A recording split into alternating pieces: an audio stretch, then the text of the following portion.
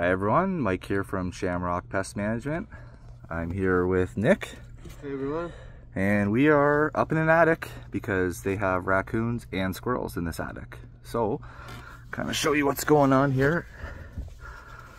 So, this place has gable vents, which are vents on the side of the building that help the attic breathe. But as you can see here, the raccoons figured out that they weren't fastened in very good, and the only thing kind of stopping them from the inside was that screening you can see there. That is similar to what you'd see on like a screen door, uh, which is definitely not enough to keep raccoons out.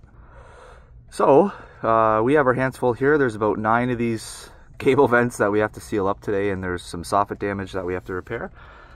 Uh, so we're going to be here a little while. Just wanted to show you guys what was happening here and let you know that if you have raccoons or squirrels in your attic, please look us up, Shamrock Pest Management. Have a good day.